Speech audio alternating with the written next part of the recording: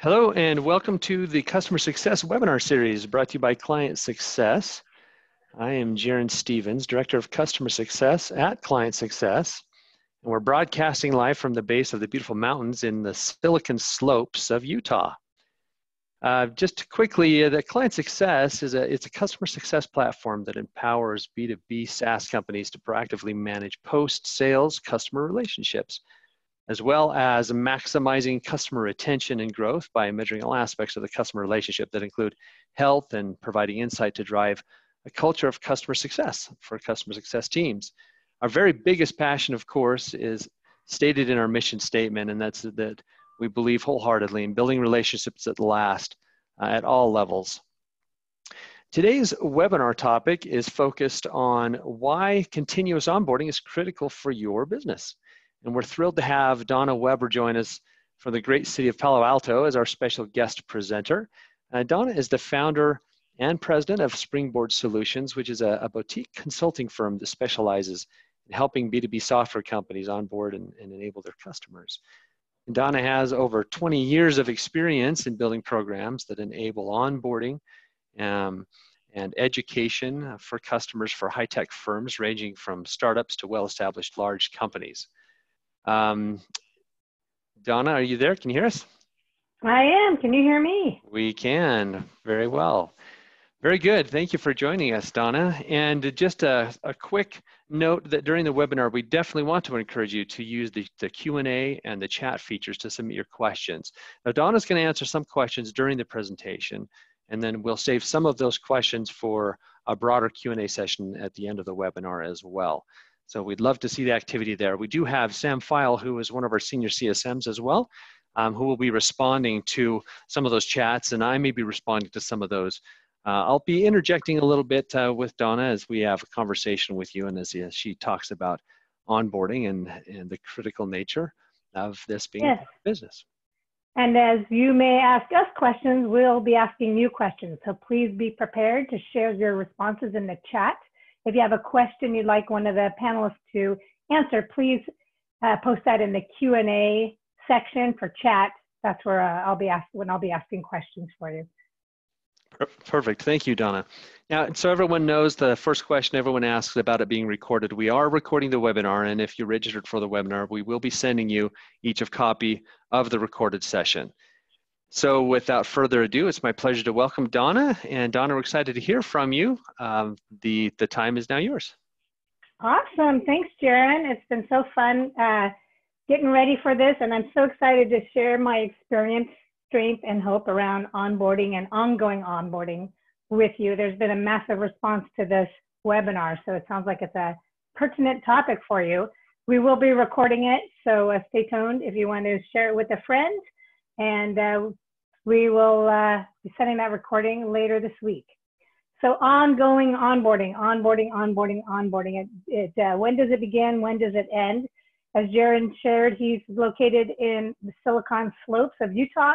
I'm located in the Silicon Valley of California, where is uh, which is where I'm from. And if you would uh, type in the chat, we'd love to know where you are joining us from today.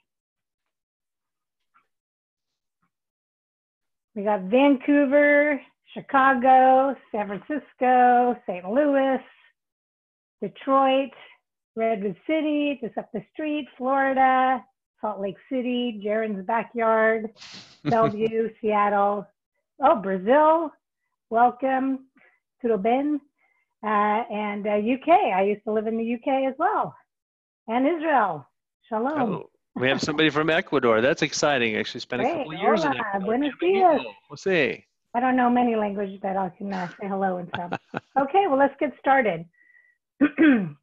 so, do you find that just when a new account is finally onboarded and goes live, the internal champion leaves and poaches half their team? Type yes in the chat if this has happened to you. Yep, we're getting some yeses there. Yeah, so when this happens, you unexpectedly get to onboard and train a new set of users, all while onboarding the next set of new accounts that you have. So as long as users keep changing and your product keeps updating, your onboarding program needs to keep addressing the constant change. So when it does, you lead accounts to ongoing success as well as a continuous life, lifetime value of your product. So just a little bit of, more about me. I help B2B software companies create customers for life through customer onboarding and enablement programs. In the world of customer success, there's a lot of talk about how to improve your customer success teams, how to improve renewals, and my specialty is how to get your customers onboarded and enabled and adopting your product quickly and in a scalable way so that they'll renew forever. So these are some of the companies that, that I built customer enablement and onboarding and customer success programs for as a full-time employee. And then over three years ago, I launched Springboard Solutions. This is just a handful of the companies I work with, large and small. When I'm not uh, consulting, I am writing. Here's the first book I published last year. And then on weekends, I like to explore the whitewater rivers of California and beyond. I was kayaking in Oregon earlier this month, and this is a photo of, of the rapid called Troublemaker on the American River. Okay, so today I'm excited to share with you about what is onboarding, onboarding accounts versus onboarding users. Let's uh, look at the components of ongoing onboarding and then how you can get started on this. So let's start with what is onboarding. The, the dictionary says that onboarding is the action or process of familiarizing new customers with your products and your services. So type yes in the chat if you currently have a process to onboard new customers.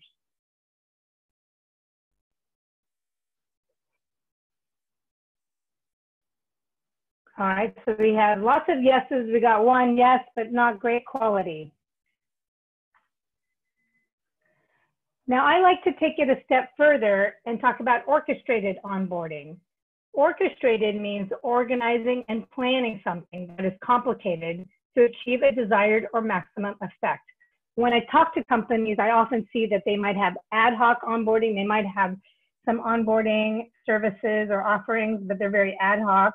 They're not very scalable. Type yes if your onboarding is is complicated. Like, do you have a complicated uh, product that needs maybe a long, complex onboarding period? So we're getting some yeses there. So the more complicated your product is, the more orchestrated your onboarding needs to be. So I developed a six-step process I call the orchestrated onboarding framework. And I use this to work with companies to move from ad hoc to scalable customer onboarding and enablement. And I'm going to reference this framework throughout today's webinar. But very briefly, we have these steps, which include, you know, it starts with the pre-sales, their handoff, the kickoff, implementation review, and then the ongoing part. And if you want to learn more about the orchestrated onboarding framework, just reach out to me. I have several articles I wrote on this topic. But first, let's explore the difference between onboarding accounts versus onboarding users. So onboarding accounts. So an account is a company that your, your company is doing business with. Accounts are usually new logos that you uh, that you've recently closed. And onboarding accounts usually includes one-off events like customizing and branding your product, implementing it, integrating it, connecting systems and data sources. And there's usually a go live or a launch date when users first have access to your product. Jared, is there anything you want to add to that? Sorry, I was muted there for a second. Um, no, actually, not, not yet. I, I have some thoughts that are going to come up in a little bit. Okay, great. So with my onboarding framework, the first three stages of the orchestrated onboarding framework are about onboarding the account.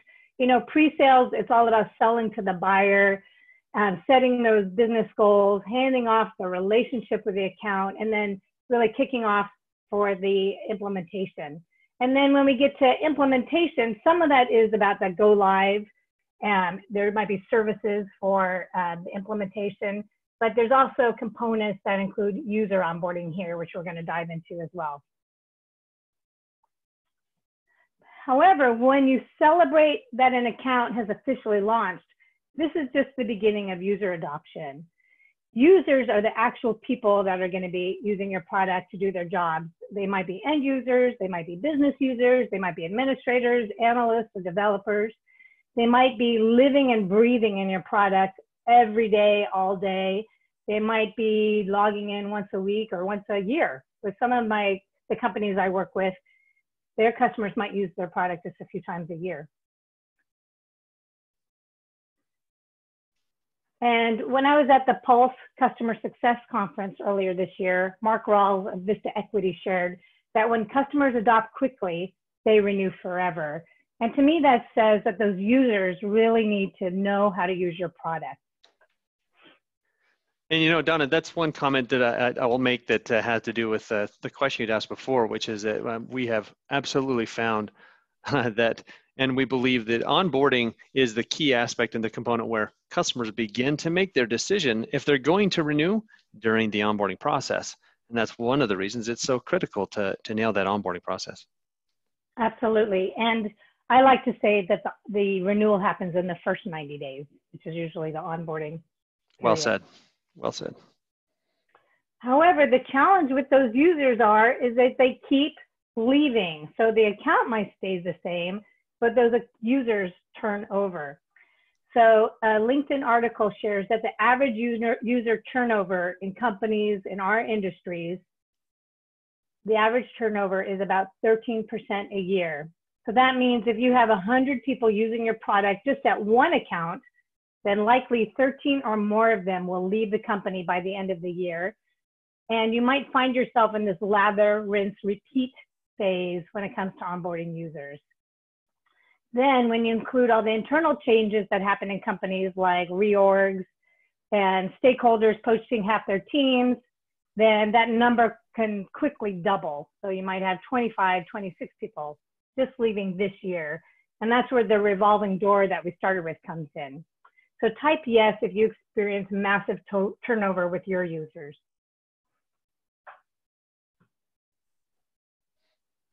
All right, we are getting yep. lots of yeses. Lots of yeses, yep. A Always. big time, yep.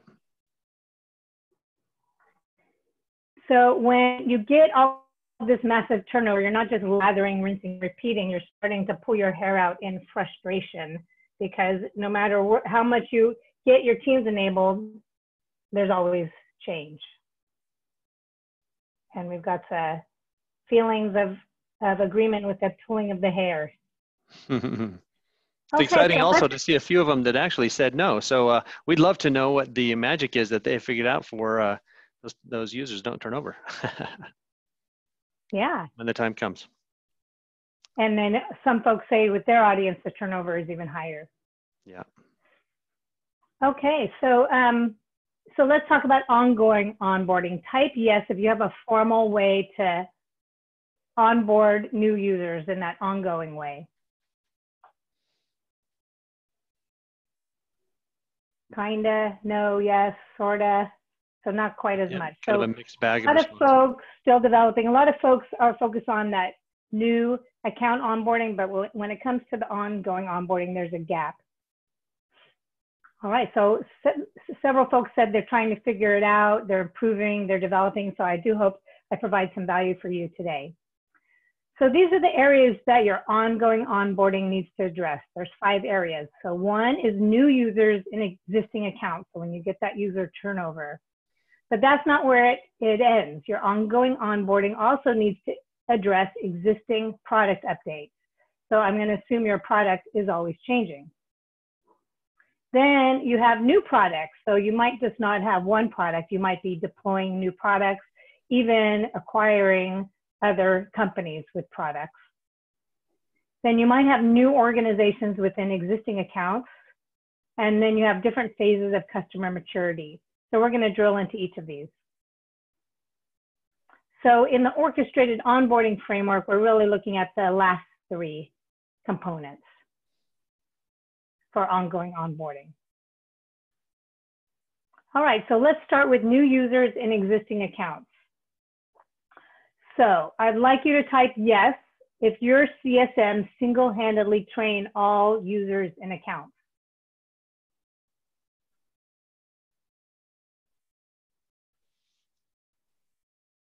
Okay, we're getting a very mixed yeses and nos. Yep. All right.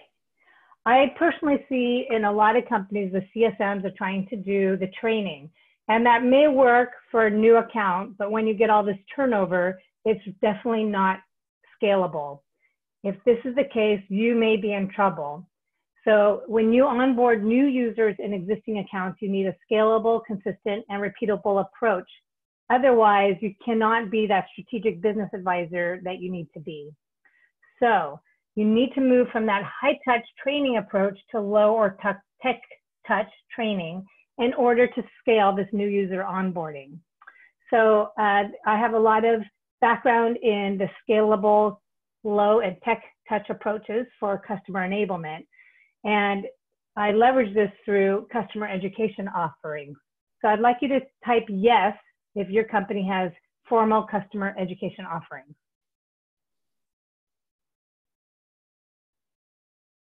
So again, fairly mixed, some yeses and nos. All right. So ideally, you have a team that specializes in creating self-paced and live online courses for anyone to leverage at any time. Once these offerings are in place, you can exponentially increase the number of users who can learn your software without extra effort on your part.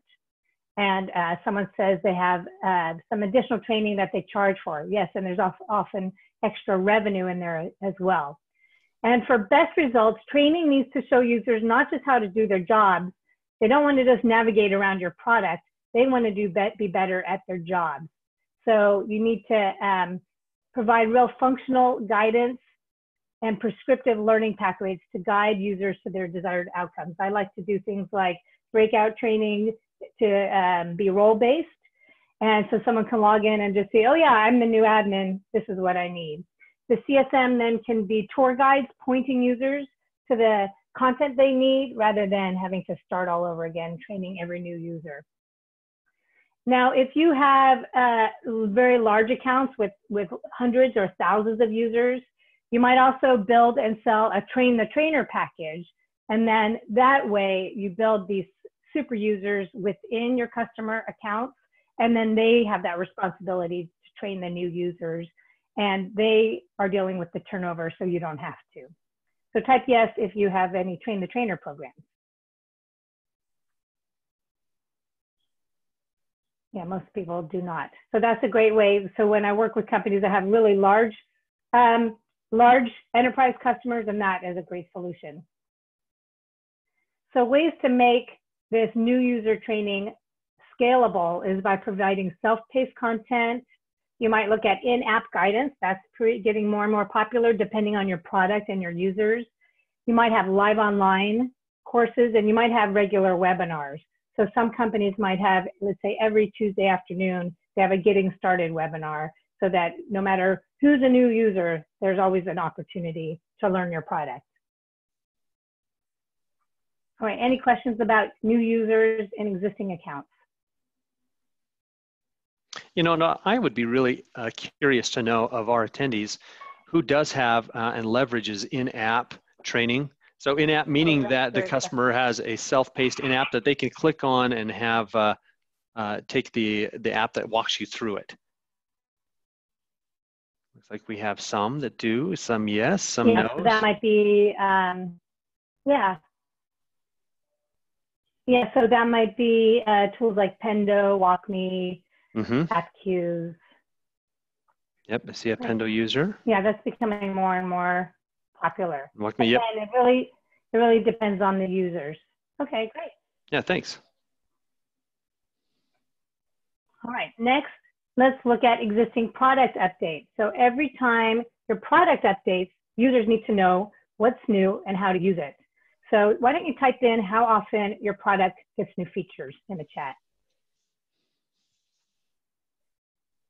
Oh my goodness, every two weeks, monthly, three times a year, every few months, quarterly, two weeks. So, uh, you know, it used to be like there might be that major release once a year, and now it's constant. We have that continuous development, continuous improvement happening.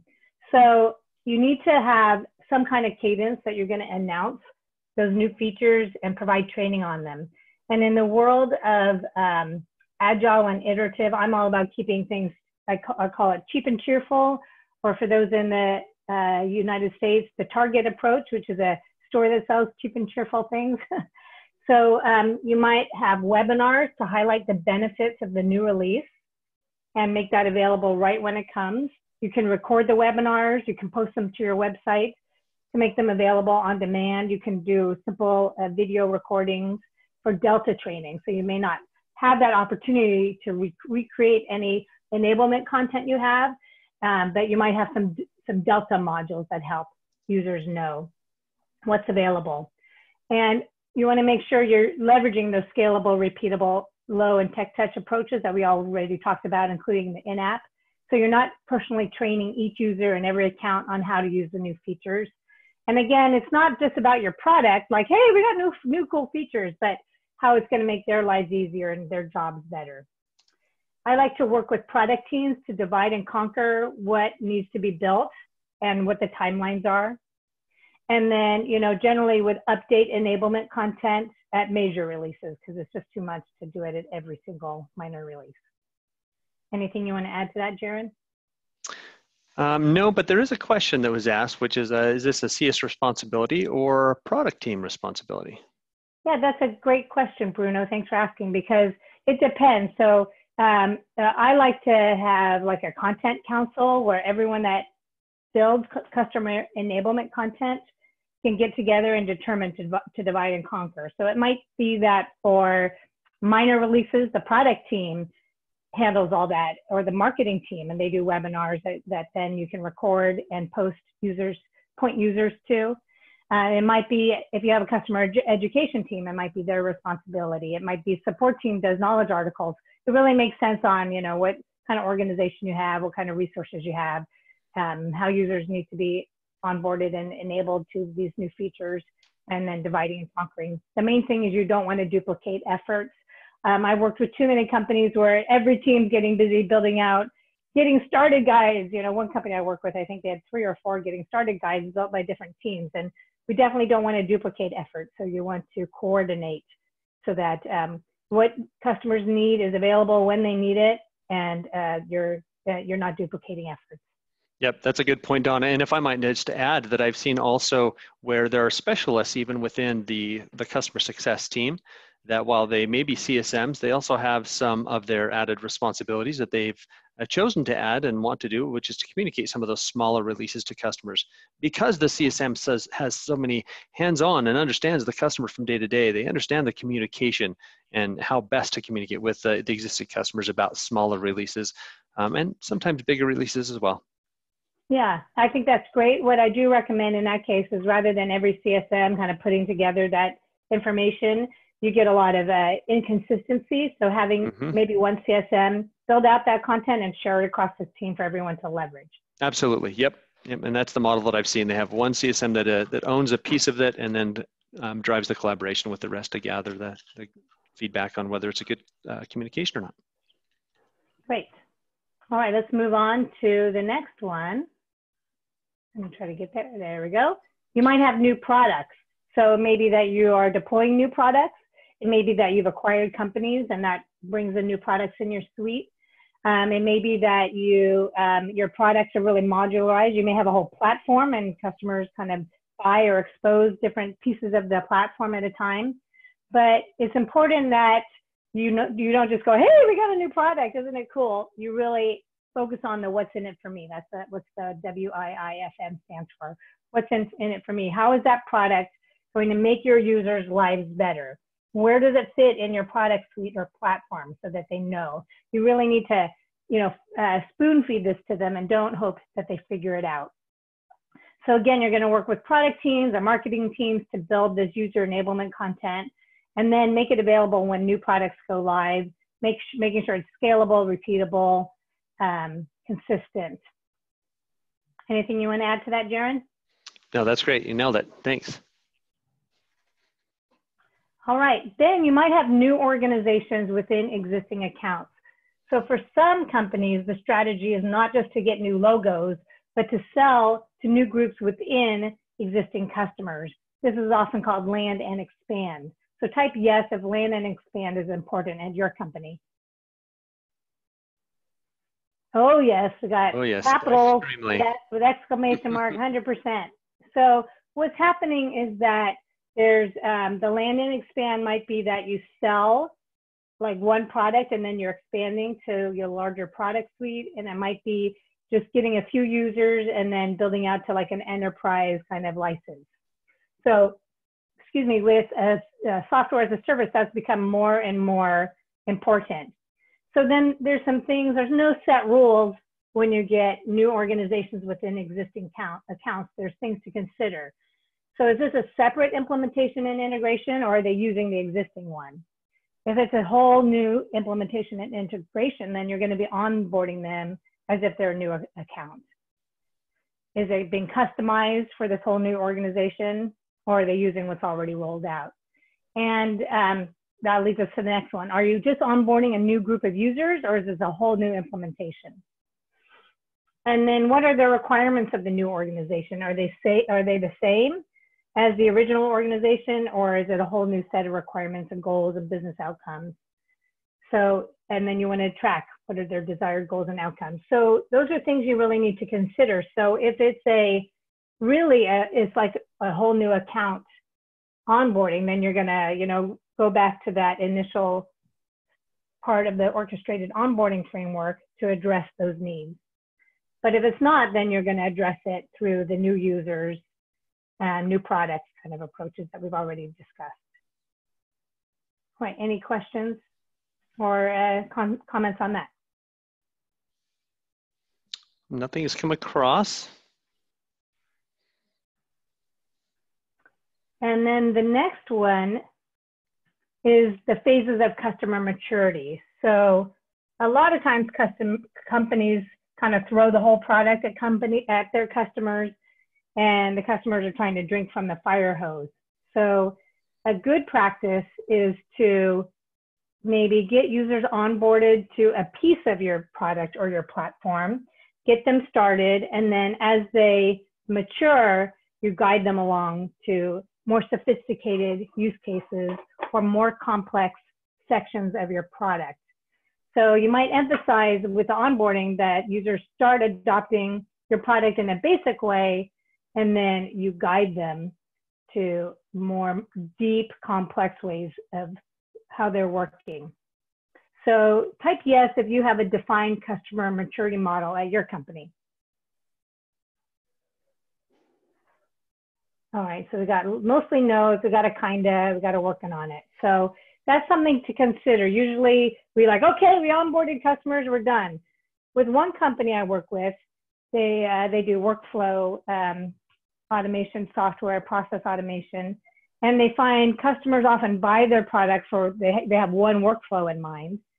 But what really makes a difference is that when the customers start using it for a second workflow, and customers often don't get they might think okay i need to do this one workflow in your product but they don't really understand there's this whole world that they could be using the product for and really changing the paradigm of how they work at their company using this platform so uh, there's a real need to guide customers to those more sophisticated use cases and then they're going to become much more sticky users and you're going to help them to become heroes at their company so it's something to really look at it, how you might onboard users to those more valuable ways to use your product that they can't even think about yet.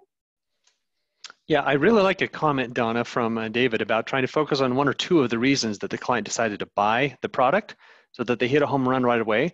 And at Client Success, we refer to those as the success criteria, and we capture those reasons right up front.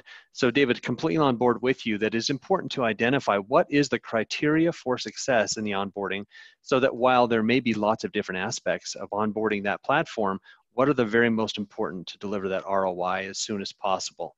What is the shortest, um, the shortest time to value for that customer? That's a good point. Yeah, exactly. And I call that quick wins. So, you know, we talk about a lot about the customer total lifetime value, but I, I also like to talk about short, shortening the time to first value. So that might be getting that, um, what we're talking really here in the um, start in number two, starting with those basic modules and workflows to really get them using the product. But then as a customer success manager and having a relationship with the account, really understanding what their goals are and helping them understand how your product or platform might help them meet those goals that they don't even know they can use it for yet.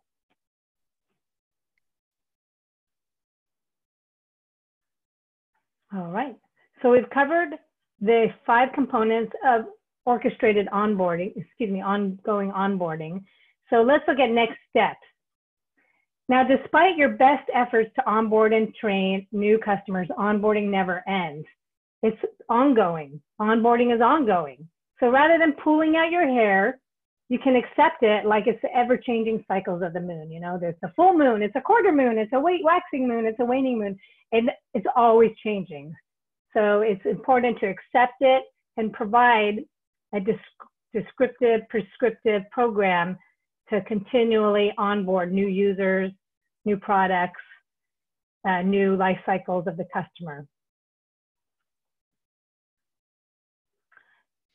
And as Jaron said earlier, the renewal decision starts during onboarding. So it's really important, no matter what phase of onboarding you're working through with your customers, that that is a huge impact on whether customers will renew or not. So to review, these are the, the uh, phases of the ongoing onboarding. And you wanna make it easy for new users to adopt your product with a scalable ongoing onboarding pro program. So when you provide an orchestrated approach to onboard initial accounts, you decrease the first time to first value and you increase customer loyalty when it's most critical and then when you design an ongoing onboarding program, you increase that product adoption, product usage, and increase that total lifetime value. Customers get continuous value from new features, new products, as well as from their new users. And that's going to mean you're successful, they're successful, everyone wins, high fives all around. So my goal is for you to get started with your ongoing onboarding plan today. So pick one of these areas to start addressing. Type where you're going to start in the chat. Are you going to start with looking at how you can onboard new users and existing accounts? Is it going to be those product updates? Are you going to start to uh, team up with your product teams? Are you going to look about your land and expand strategy and how you can have a greater impact on that? Great, so we've got new users, new orgs, new products, so it's all all options, great. So what about who are you going to meet with to help uh, determine how to address this area? Because it may not just be something you're going to do. It, you might need to meet with your marketing team, product marketing team, the engineering team. Who are you going to meet with to start this conversation? So sales and products. And maybe for that land and expand, there might be ways that the sales reps can sell in some services to really help with getting those new organizations onboarded quickly. The learning and education team. I really recommend that you do not start creating something in a silo. There might be other teams that have stuff that you can leverage. And uh, when you create stuff in a cross-functional way, it's more effective. Great, thank you. So I'd love to keep the conversation going. Here's some ways we can stay connected. And then I would also love your input. So I am conducting a survey for a project I'm working on about customer onboarding programs at B2B software companies. So I would greatly appreciate if you could take a few minutes to complete this valuable survey. And if you share your information, I'll share the results with you. So we'll type in that to um, uh, so I'm going to just type in.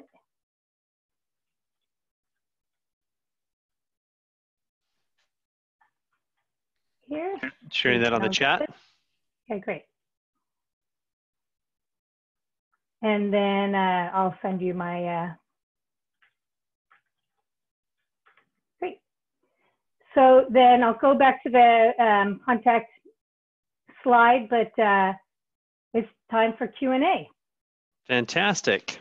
Well, thank you, Donna, um, for going through that. And onboarding is absolutely a key to the success of customers, as we know that is uh, it's where the beginning of, of a renewal decision starts. Um, I believe wholeheartedly in that.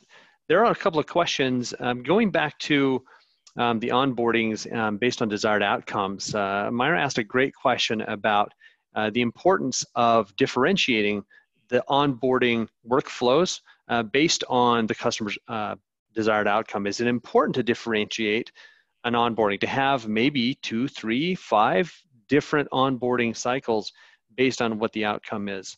Um, and what is your, what's your thought on that? Yeah, well, so I run into companies who think that all of their customers are, I would like to call it terminal, terminally unique. So um, when you when you think that, then the only approach is a high touch approach, and that means you can't scale. So you're going to get in trouble very quickly. So I really like to look at some common ways that all customers can be onboarded. They might have uh, some a foundation of similarity, and then there's might be some branches where they they go into different directions. And then uh, with the quick wins, which is a way to get customers onboarded to their goals, what I have done is build out like a a la carte menu of different options. So maybe there's kind of five different use cases. Customers generally tend to veer towards and then create a, the, the menu say which quick win would you like to work you know work towards? And we determine that together. But then i already have enablement content driving customers to that quick win um, in a scalable way. Um, you know I, I start by building one you know test it out pilot it. Once we know that's working well then we move to building another. So that i'm building that all that approach in an agile and iterative way um, but then really looking at, you know, what are all the common use cases and build for that. Great, thank you, Donna. Uh, another question um, from Jeff, how does your framework vary for market segments? So enterprise will be far different than, than uh, the SMB, right? So the number of accounts will vary. Um, time to onboarding will vary, et cetera. Does that modify your framework? Uh, I would say no, it doesn't, because the framework is is principles. It's not necessarily how. So that the, the, the framework is principles that might be high touch, low touch, or tech touch. An implementation with uh, one industry might be five minutes. With another uh, account or in, or vertical, it might be five months or 15 months. Uh, but there's going to be some kind of implementation phase you're going to be guiding your users through. Again, having, you know, I would say start building for one segment and pilot it, test it, get really good feedback from your customers. Always engage customers to find out what's working for them or not. Find out what they want and need. And then once you've got it working for one segment, then you can start to build that out for others. So you're always going to need some kind of, you know, uh, pre-sales, setting expectations, some um, some post-sales handoffs, kickoffs, things like that. It might be a market, it might be one email, or it might be several meetings. Uh, again, it depends on um, your users, your products, your industries. Great. Um, I have a, a good question um, from Luis about how, and this refers to what we, we mentioned about um, how do you know that customers decide to renew during the onboarding period and, and how did we come to that conclusion? He's interested in knowing about uh, uh how did we come to that conclusion? So I, I, what are your thoughts? Yeah, well, uh, uh, through research and industry experts, that's uh, one company's ServiceSource says that um, that if customers don't onboard successfully in those first 90 days, renewal likelihood drops to as low as 10%.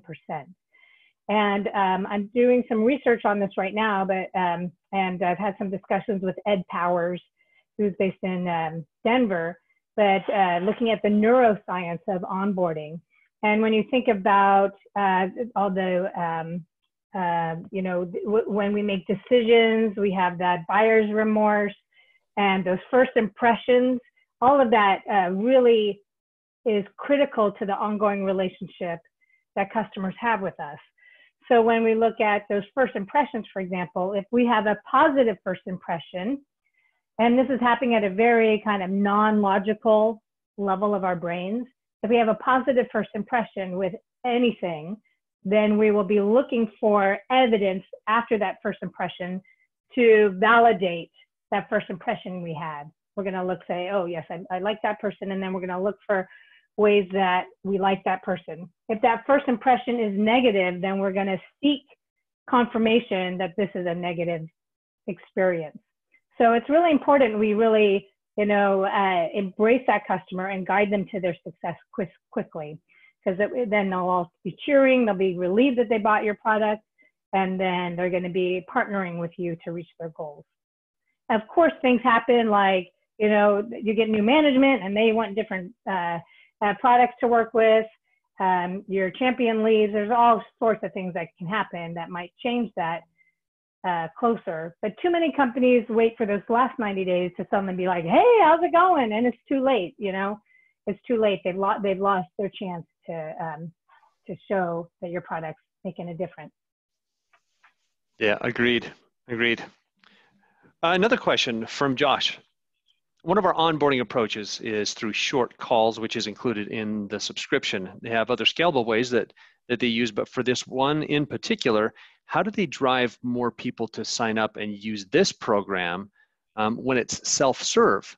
So they know that customers gain value from the program, but not enough take advantage of it. Well, uh, there are a few ways I would approach that. One, are they um, do they know about the onboarding um, offerings before? So sometimes uh, that's why I like to start in the pre-sales part of the journey because oftentimes companies don't know what's available and then suddenly it's kind of thrown at them and they're not ready for it. So setting those expectations early helps. And another thing I was just writing on this uh, this morning is charging customers. The reality is when we pay for something, we're more likely to value it and uh, be involved.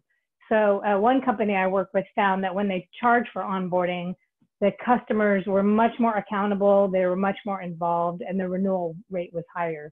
So that's something else you might consider.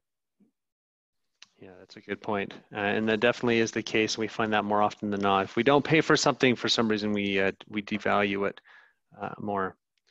Um, there's some great questions that are being asked here. Um, thoughts on short onboarding surveys when onboarding is complete for new clients? I'm sorry, can you repeat that? Yeah, yeah. So uh, the question from David, he just uh, asked about some thoughts for short onboarding surveys when onboarding is is complete for new clients. And and if you don't mind, I'll throw in my two cents about this as we we do this. We send a follow up survey, which is really really important because we can gather um, that immediate emotion and connection to onboarding, whether it was successful or not, whether it was valued or not, whether it accomplished what we call the success criteria in our case.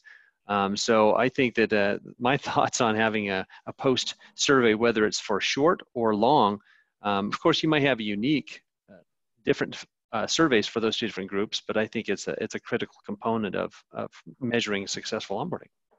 Yeah, absolutely. So um, I always, you know, so so I am a proponent of using the design thinking approach to building customer-facing programs, and that means we need to know what customers want and need and what they feel. And so that includes a survey. So at the end of onboarding, if you have a milestone that says we are officially onboarded, then that's the time to send out a, a survey to find out how the onboarding went and to learn what needs to improve in your program. And that is also a good time to have a review meeting to really not just get a number from zero to 10, but also to have a conversation. Hey, what worked for you? What would you improve? If you, what would you do differently if we did this again? And then, so, so you're always Im improving your program. Absolutely. Yeah, completely agree. Uh, another question about uh, quick tips so uh, quick tips about re-engaging existing accounts, um, which probably falls uh, in line with more of the ongoing onboarding. So some tips um, that you might have, Donna, about those customers that you know need to have onboarding um, ongoing, um, but they're they're not engaging with you. What are some tips for engaging them? Yeah, those darn customers, if they'd only just behave, right? so um, yeah, so there's a few things. One is setting up expectations early. So uh, really helping, working with the sales rep even before the deal closes, so companies know how they're going to work with you moving forward, and that that relationship that the that, that the sales rep is building with the customer doesn't get lost when the deal closes. Uh, so that's one. Two is how many contacts do you have at the account. So if you have just one, you're in trouble. You're very vulnerable. So you want to make sure you have several folks that you're engaged with and that might be as easy as asking that one contact you have, hey, um, I would like some emergency contact info. If you're not available, who would I connect with? So just in the same way that, uh, you know, let's say I'm going to do an event, I have to write down some emergency contact information. Ask your point of contact, hey, what's, I need some emergency. I need three other people to, to engage with. And uh, that's a way to start building who you know at the account and start uh, reaching out to them. Again, when you charge for your services, then customers are going to be more accountable and more involved. Yeah, that's a good point. And, and another way that we like to phrase the importance of, of establishing those connections is high and wide. Um, getting as high in your organizations and as wide as you can so that when you do start to lose engagement at certain levels, you can reach up to uh, your other relationships that you've established. Um, as long as you're providing value at those different levels, they'll maintain a relationship with you, and that's that's an important yeah. key. Yeah, and I, I really like the high and wide, Jaron. And also, are you providing value? If it's just a hey, how's it going kind of outreach, then you're you're training your customers to say, leave me alone. So, are you providing value to them? Are you helping your customers see around corners by using your product? Are you helping them to be heroes, superstars at within their organizations by using your product? Those are the things you want to keep asking yourself. Yeah. Do you, by any chance, Donna, have an example referring back to that maturity model? Is, is there anywhere that, do you have something that you could share with people? Or would you yeah, recommend you know, they can see it? Yeah, you know, it really depends on your product and your users. The first thing is really knowing your users of what they're trying to accomplish in your product um, and what their world is like. But uh, using that workflow um, platform I was sharing you sharing about earlier, so uh, maybe there's the, hey, let's, the, the quick win might be to get to that first workflow and then uh, helping them to get to a second workflow. Uh, this, this company finds that the customer retention increases dramatically when customers get to that second workflow. So if you're just fo focusing on that first workflow, you're losing a huge opportunity to really get customers to be sticky. So then uh, what happens after that second workflow? Finding out what they want and need it might be really understanding uh, some of the, the, the use case scenarios that they have and, and then guiding them to that in a very prescriptive manner. Yeah. So it might be, let's say, um, the first level of maturity for other products might be like creating a report, and then it might be helping to drive insights from those reports, and then it might be helping to automate actions as a result of the reports. Any other thoughts on that, Jaron? Um, no, actually, well, I have lots of thoughts, but I want to get to these other questions. There's some really good questions that a few more have asked. So I'm going to jump forward to the other questions if that's okay. Um, one question, just because we were talking about the executive sponsor, um, was uh, Drew has asked how critical is it to have that executive sponsor at a company during onboarding? So what role do they play to keep the teams accountable when they're falling off of, of the onboarding process? All right, so hold on, let's, let me just get back to my orchestrated onboarding framework. One moment. Okay. So in my orchestrated onboarding framework, I make sure that in that pre-sales and the handoffs that the stakeholders, the buyers, the sponsors, whatever they're called, are involved. And uh, I, I have a, cu a customer handoff where the customer, you know, whoever bought the product is, is also handing off their desired goals and outcomes to who's ever implementing and using the product so that we don't lose that too often uh, in that um, from that pre-sales to the handoff or the kickoff you lose all of that um, involvement. So setting expectation before the deal even closes that this uh, the buyer the, the decision makers the executives are need to stay involved uh, having those handoffs and then I like to even schedule the first remo- review meeting while that stakeholder is still involved so that I'm not having to chase them down later. So I, yeah. I build that into my orchestrated onboarding framework. Yep, and that's a good point. And and my response would be similar, Shane. That I would also encourage um, that. Uh, it wasn't Shane, if somebody else that asked that question. I would also encourage you that by that last, um, what we refer to as our success criteria check-in at the end of onboarding, that that decision maker is a part of um, a part of that call. Uh, as a customer is wrapping up the formal onboarding process, that that decision maker is there to see and understand what has been accomplished based on the, the decisions that he had made, uh, he or she had made to purchase the product. Mm-hmm. Um, okay, uh, next question. This one's from Shane. Uh, earlier, you'd mentioned offering an a la carte menu for use cases as a way to identify a way to quick wins. Um, do you send that out in an email to the customer um, to gauge what they want to help, what they want help with? Um, do you test out the pilot and determine what is a, a win? Is it a meeting? Um, is it CSAT scores? Um, curious to know how you determine what success is based on those sure. together. Yeah, so um, I'm going to go back to my orchestrated onboarding framework. I build out a success plan with accounts, and the success plan starts during pre-sales. And that uh, it may be that if you have a sales engineer, they might be start by having those conversations about uh, what quick wins might be appropriate. Uh, but when you start looking at the kickoff meeting, that's where you would start really determining the quick wins. You might have your a la carte menu, say, hey, we have these five options, which one makes sense for your goals? Or you might say, from your goals and outcomes, we, we recommend you know, uh, these three, I highly suggest this one. So it's a conversation. Yeah, and uh, and in our case, we actually send out we we leverage a Google form when we start our onboarding process as a part of our welcome call. We send a Google form to the customer and ask them um, why, what was the reasons that you purchased? Now, a lot of the information should be passed in that handoff from sales to customer success internally, yes. which it does. But we like to capture in the customer's own words what is most important to you during this handoff process and actually have them call it out to us. And then we use measurements internally and set those expectations, how we're going to measure that between the time we start onboarding and the time that we finish onboarding. So that's how we do it. Great. And then also, you might have that conversation, and if the CSM is going, "Hey, Jaron, tell me what you're thinking. Why, why did you buy the product?" They get, uh, you know, my, I hear customers say that they get really frustrated sharing those things over and over and over. So right. you might be more validating during these uh, the handoff and kickoff kickoff meetings. You might be more validating. Hey, this is what we learned from during the pre-sale cycle. Is this still pertinent, relevant? You know, what does this mean to you if it's been handed off to somebody else? Uh, so make, making sure you're validating and confirming. Yep. Yeah, agreed. Completely agreed. Um, okay, a few more questions here. One from Ryan. Our customers sign annual contracts, but tend to only use us for three to five events per year. And, and forgive me, Ryan, that's uh, in the context of your business. Uh, I'm not quite sure what the events re uh, represent.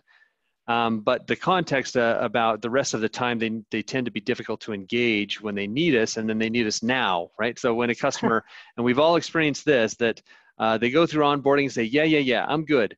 Um, and then they come back and say, now I need you. I need you right now. I need you to go through all of this. But they don't want to go through the, the generalized training, right? We've all faced that. So what are some thoughts from you, Donna, on how to onboard clients who want a super quick, high touch, um, almost consultative onboarding? Yes, well, there might be ways you can set up something earlier in the onboarding journey so that they know what's available, um, or you can get them onboarded in, in a general way.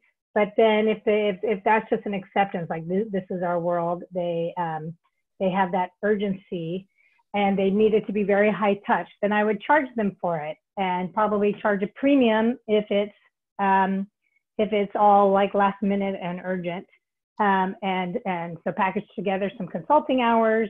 That's probably not going to be a CSM uh, job, or maybe it's a training specialist um, who's going to really provide that, that white glove treatment. So I would charge for it and make it a premium offering that's available. Um, uh, you might have some self-paced content uh, that's available too that you could say, you know, if you don't want to pay, there's this. If you want us to really dive in there and uh, give you a customized, tailored treatment, then uh, then put, put together a, premium services packages to address those needs. Very good, very good. Uh, let's see, a few more questions uh, from Amy. Any suggestions on how to best identify users that have left a company besides usage drop um, when you're considering that, that ongoing onboarding? How do you identify those users? Um, is, do you have uh, any suggestions on the, the way that you would identify those? Well, uh, ideally you have, as we talked about earlier, more than one contact in the company. And that might be some of the conversations you're having about uh, not just about the product, but hey, what's going on with the team? How can we help? Um, so that, that so that you're aware, you're having that relationship. You also have LinkedIn. You can be um, kind of trolling LinkedIn if you know who the users are, um, and then Uh, you know uh, have some product usage alerts so that you know what's happening, and that might be a way to start engaging with the people to say, hey, it looks like product usage changing. We'd like to have a conversation to know what's happening. I hope that's helpful. Yeah, yeah, I think so. Uh, Nathan asks, what are some things you'd look out for when onboarding a, a long tail versus an enterprise client? So customers uh, and then maybe some some added. Um, so I'm not 100% sure on, on long tail. We know that I mean we're talking about number of months versus enterprise, which typically enterprise do take a little bit longer, but it does depend on on the product. Um, so if if you had any uh, added context behind that to help us understand what you were looking for, I don't know. Uh, what what are your thoughts? Yeah, again, it's really important to know your customers and their needs, and you might work with large enterprise companies and then really small um, uh, uh, accounts as well. What I see usually works is for those large enterprise companies having more of a dedicated CSM, maybe even a customer success engineer um, uh, you know, uh, what I've done is having like uh, for the enterprise accounts, having maybe one CSM owns four to five accounts. And then for the more of the long tail, uh, you might have a CSM who's owning hundreds of accounts and it's much more of a lower tech touch. Um, oftentimes, I work with companies to build that high touch approach first because somehow it's easier to kind of, you know, really test and see what works and what you need. And then you can start automating it or changing it to uh, self-service. I also recommend working with the marketing team to build out email marketing campaigns for the post-sales journey. So whatever, you, you know, if you map out this orchestrated onboarding framework, then you can have emails going out to customers at key points to keep them um, uh, connected with their journey. Perfect. Okay, um, we have time for just one more question here. Um, and I apologize that I can't get to all the questions, uh, but uh, let's see if, if uh, let's see, the ideal time. When is the ideal time for a post onboarding survey? After the training or after a 30 day review? So I have uh, my again, thoughts. your thoughts? Yeah, again, it really depends. I, I don't like to um, just send, you know, say, oh, do this, do it. really depends. Like, is your implementation done? Uh, if you're onboarded, then the you know if it happens in three days, send an onboarding survey. If it happens in um, you know six months, then it really depends on uh, like a milestone being met. Yep, and that's a good point. Yep, and if the survey is focused on the onboarding experience itself, I myself would send it directly after onboarding is completed. If you're going to send a, maybe a, a survey to capture their on their adoption experience once onboarding is completed that's a different survey and then you might look at 30 to 60 to 90 days post onboarding um, to mm-hmm. capture mm-hmm. their adoption experience well thank you donna we really appreciate your your impactful insights and and that you delivered today about the customer uh, and their onboarding thank you so very much and we thank you everybody Karen, it's been a real pleasure and it's you know I, I i love talking about this stuff and hold on i'm just trying to um, I love talking about this stuff and sharing what I know and hearing what's working and not working with you. I'd love um, if you could take just a couple moments to uh, fill out my onboarding survey so I can learn more about what's happening at your companies. And, um, and then again, reach out. I'd love to continue the conversation. Fantastic. Thank you, Donna. And thanks also to everybody who participated in the webinar from around the globe. It was fun to see everybody joining. Um, and as I previously mentioned, there is a recorded version that we'll get this sent out later to you all this week. And uh, ClientSuccess, as you know, we're here to help, and we invite you to visit our website as well, which is just clientsuccess.com to take advantage of a lot of the resources available to you to build and scale your own customer success team. Um, we'd also encourage you to request a demo of the customer success platform to see how we can empower you and your team to deliver high retention, grow expansion, revenue, and, and create more customer advocates. Thanks again, everybody, for joining, and we'll see you on our next webinar series in just a few weeks. Have a wonderful day.